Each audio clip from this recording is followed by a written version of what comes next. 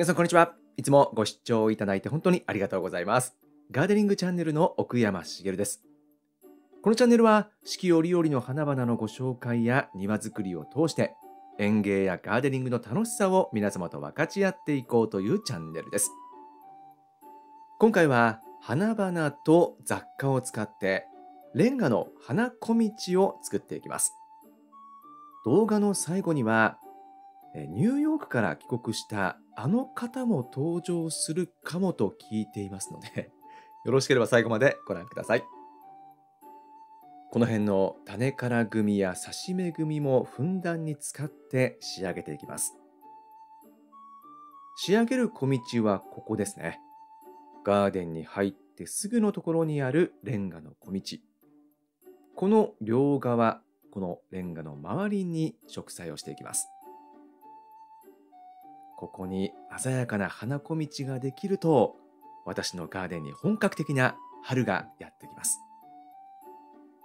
では早速作業を始めていきましょう。まずはこの辺りから植栽していきます。ここに置いてあるのは、下に気境が植えてありまして、その気境の目印として、あの鉢置きを置いてありました。ここには植え付けができませんので、まあ、いつものように出根草の上、あるいは球根の上には、ダイソーで購入したこのカゴを置いておきます。そして、このカゴの上に、あの方をお迎えしていく予定です。最初に植え付けるのはこちら。刺し目で育てたオステオスペルマム。この黄色いオステオスペルマムは我が家に来てからもう4年目ぐらいですかね。刺し目で命をつないでいるブルーアイビューティーです。で今回の植え付けに関しては穴を掘って堆肥を少し入れて観光性の化成肥料を加えて植え付けるっていう手順で行っていきます。まずはオステオスペルマムをこことここに植え付けました。やっぱりこのオステオは華やかですね。で、こちらの空いているスペース。こちらはですね、レンガの花壇が後方にあって、その花壇の基礎があるので、穴が掘れないんですね。なので、穴が掘れないような時には、こういった雑貨を使っていきます。まあ、これは雑貨というよりは、以前私のガーデンで生えていたコニファーをちょっと抜いてしまった時に作ったコニファーの切り株です。この上に種から組のビオラ、こちらを置いていきます。ダイソーで購入した、まあ、ダイソーだったかな？どっかの100円ショップで 購入しました植木鉢です。フラワーズガーデンと書いてあります。この植木鉢にビオラを植えて、そしてこのような形で置いておきます。ただレンガの周りに花を植え付けていくっていうよりは、いろいろ変化をつけながら植え付けを楽しんでいこうと思います。この辺のビオラはですね、割と早めに開花してくれたので、摘心をしたんですね。で、やっぱり摘心すると、花数は増えますね。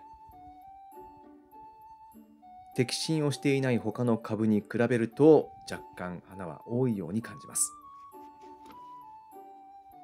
このような形で植え付けていきまして、そしてこちらはやっぱり刺し目をしたユーフォルビアのダイヤモンドフロスト。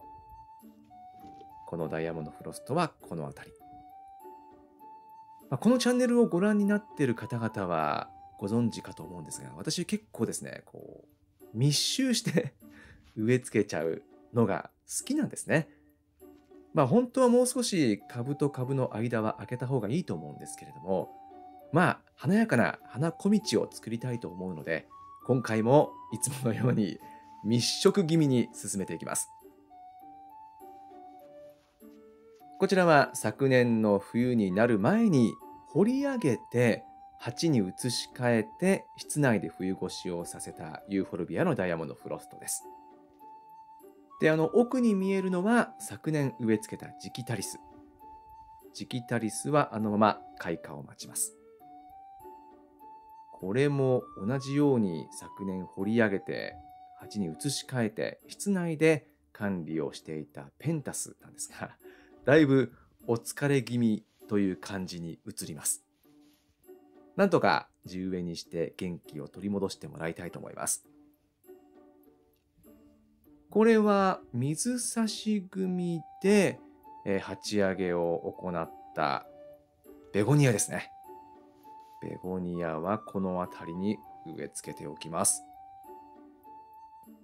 ちょっとひょろひょろっとしてバランスが悪いので、摘心を行っておきます。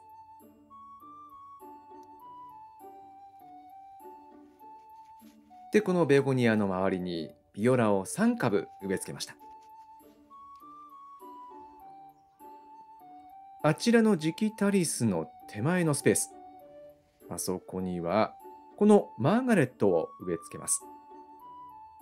刺し目組のマーガレットなんですが、まだつぼみは上がってきていません。このマーガレットは割と背の高くなるタイプです。やっぱり高低差って大事ですからね。後方の方は高く仕上げていきます。これは水差し組のコリウス。コリウスはこの辺り。そしてこちらはベゴニアのマカルージュ。このマカルージュも水差し組ですね。白いベゴニアたちの横に植え付けました。手前のスペースには株分け組のヒューケラを植えておきます。でヒューケラの右側にレンガが3枚敷いてあるんですが、あのレンガの下にはですね、まあ、何かの蓋が やっぱりあって、植え付けができないんですね。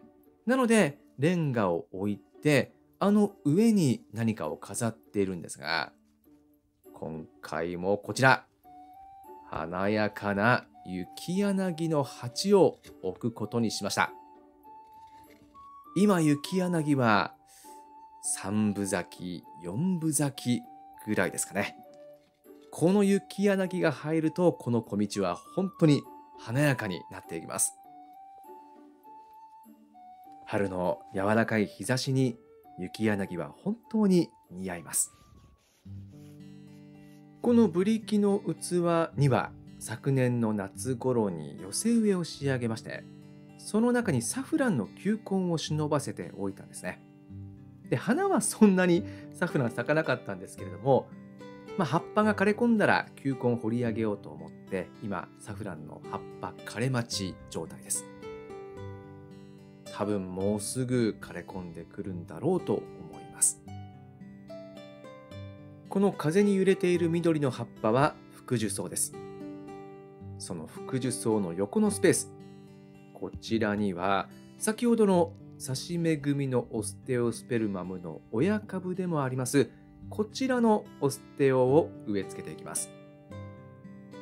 植木鉢の状態で外のビニールハウスに入れて極寒の冬を越えてくれたオステオスペルマム。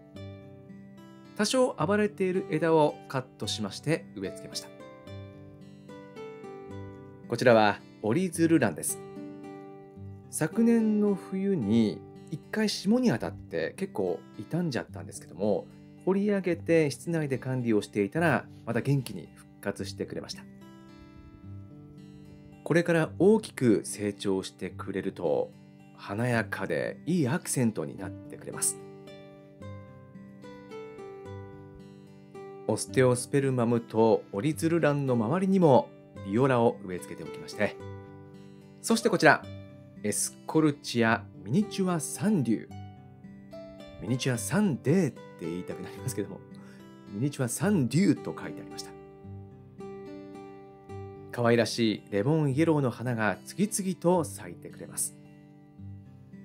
今回花小道作りで使っている花々はほとんど種からや刺し目組なんですがこちらは購入した一株です。こちらも購入内ではあるんですが昨年の夏頃ですかね。購入しまして植え付けるタイミングを逸してしまってこの購入したままの鉢で冬越しをしてもらったガーデンブーゲンビレアです。室内で冬越しをしていたんですが葉っぱが全部一回落ちてまた新しい葉っぱが展開してくれました。こちらはエンジェルレース。刺し目組です。新芽の白い若葉がとても美しいです。エンジェルレースはここ。エンジェルレースの横にはビオラ。そして手前にはプレクトランサスミントリーフ。さらには冬越し組のクリスタルグラスです。こういう明るいリーフが入るとやっぱりちょっとおしゃれ感が上がりますよね。自分で言うのもあれですけども。ちょっとおしゃれな雰囲気になっていくんじゃないかなと思います。でビオラを植え付けてその横に真っ赤な鮮やかな出根バーベナ。このバーベナも購入組です。バーベナはこちらに植え付けます。この辺りに白タエ菊を植え付けまして白タエ菊の横にあるのは2年目を迎えたプリムラです。ようやく花芽が上がってきました。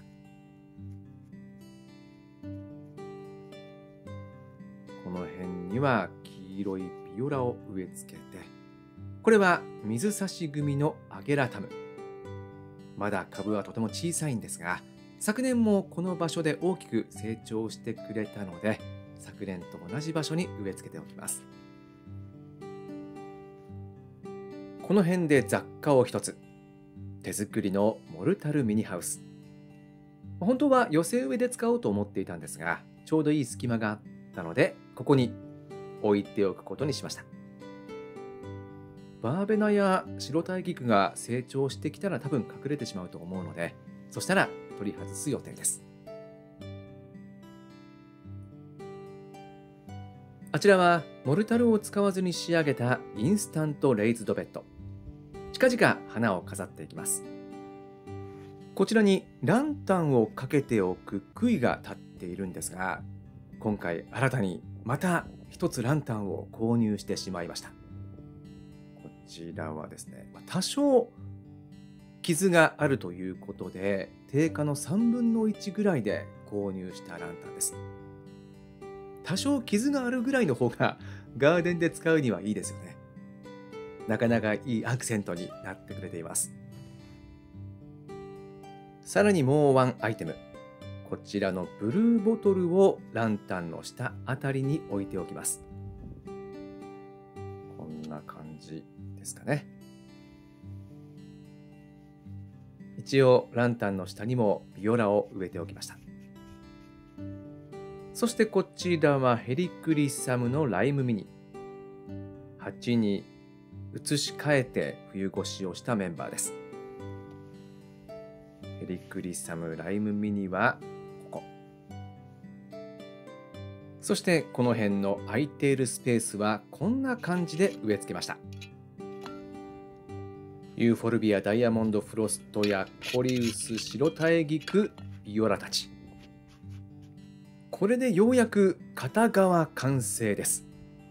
ちょっと時間がかかっちゃってるので ここからはサクサクといきたいと思いますがまずはですね片側、まあ、基本的には種から育てたものですとかあとは刺し目したもの冬越しをさせたものを中心に植え付けてありますそして雑貨なども置いてあります。では小道の反対側も仕上げていきます。まずはビオラを2株。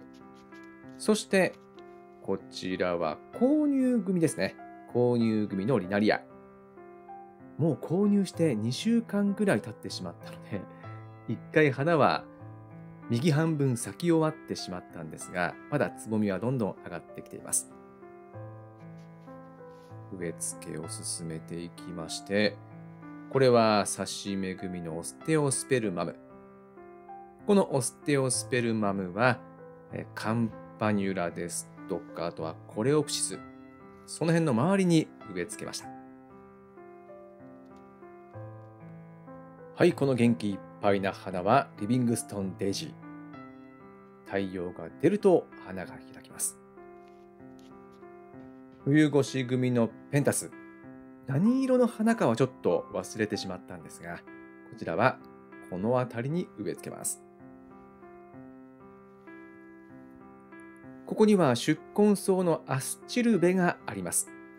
植え付けられませんので、ダイソーで購入したこのカゴをかぶせて、同じくダイソーで購入したフクロウと、そしてブランコチェア、この組み合わせを置いておきます。アスチルベが伸びてくるまで、まあ2週間ぐらいですかね。このような形で飾っておきます。空いているスペースにビオラを植え付けまして、一応これで植え付けは完了です。ちょっと、ちょっと、どうも、ムルチコーレです。久しぶりにあんたたち。元気してたの？本当にもうさ。私？元気に決まってんじゃないの？見てわかんないの？冗談じゃないわよ、本当にもう。ほんと元気いっぱいよ、私なんかさ。ニューヨーク行ってたの。ブロードウェイミュージカル出るためにね。知ってるわよね？昨日帰ってきたんだけどさ。ああ、もう刺激的だったわ。アメリカ、ニューヨーク。最高ね。私にぴったりの街だった。ブロードウェイミュージカルも出たわよ、ちゃんと。夢叶えちゃった。当たり前じゃない誰だと思ってんの？ムルチコーラよ、私。本当にもう。願った夢を全て叶えてきた女なのよ、本当にさ。何出たかって？あんたたちさ、オペラ座の怪人って知ってる？オペラ座の怪人。有名でしょ？あれ出たのよ。うん。なんで、クリスティーヌっていう歌姫がいいんだけどね。その歌姫の部屋に飾ってある花よ。本当はね、クリスティーヌ役やろうと思ってね、オーディション受けたんだけどね。で、私のさ、美声を聞かせたわけよ。そしたら監督がさ、なんて言ったと思う君はあれだからって言われて。あれって何よ？って私ね、怒ったのよ。あれじゃわかんないじゃないのよって言って、怒ってぶつかっちゃってそこで。で、まあ結局歌姫役はできなかったんだけどさ、ちゃんとね、部屋に咲く花の役、全うしてきたわ。もう完全にクリスティーニ役の子をね、食っちゃった。私の方が目立ってたわ。本当にもうね。ざまあ見ろって感じよ。またね、今度挑戦するわ。冗談じゃないわよ。本当今度私の美声をニューヨーク中に響かせてやるのよ。本当にもうね。まあちょっとしばらくね、あの、静養させてもらうことにしてるから、あなたたちよろしくね。ほんとね。それにしてもさ、WBC すごかったじゃない、日本。ね、おめでとう、本当に。やっぱチームワークね。私さ、こう見えてさ、まあどう見えてるか知らないけどさ、チームワークってすごい大事だと思ってるわけよ。ね野球だけじゃないわよ。こういう風にね、花を植え付ける時だって、チームワークで考えなきゃダメよ、本当に。あ、うるせえななんて今思ったでしょ。冗談じゃないわよ。久しぶりに帰ってきたんだから話ぐらいさせなさいよ、本当に。まだまだ終わんないわよ、私の話。聞きなさいよね、最後まで。え？冗談じゃないわよ、ほんと。ニューヨークから帰ってきたムルチコーレ姉さんは、さらにパワーアップして元気いっぱいです。ということで、ムルチコーレ姉さんを迎えて、花小道完成しました。種から育てた株や刺し芽あるいは冬越しをした株を中心に仕上げていきましたこの花小道。これからブリキの器に寄せ植えを作ってこのレイズドベッドインスタントレイズドベッドにプランターを入れてそのプランターも華やかに花を植栽してさらにはカンパニュラが伸びてきてアスチルベが咲いてクレマチスも咲いてバラのプリンセス・ド・モナコも咲いてくるとより華やかになっていきます。表情を変えていくこの花小道の様子も随時アップさせていただきます。よろしければチャンネル登録お願いいたします。ではまた。